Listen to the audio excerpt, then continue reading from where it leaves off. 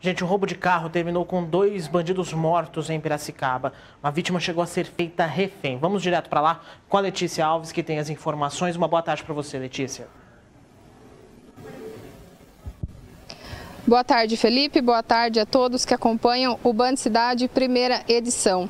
Exatamente, dois assaltantes abordaram um veículo no Mirante, que é um ponto turístico aqui da cidade de Piracicaba, e fizeram o motorista refém por cerca de 20 minutos amarrado. Depois eles liberaram a vítima, que conseguiu encontrar uma patrulha da polícia e avisou sobre o ocorrido. Eles imediatamente começaram uma busca por esse esse veículo e conseguiram encontrar. Neste momento, os assaltantes deram fuga e acabaram batendo este carro. E neste momento começou uma troca de tiros, onde os bandidos acabaram mortos ali na região do Bong, aqui da cidade de Piracicaba foi apreendido duas armas e o carro foi recuperado.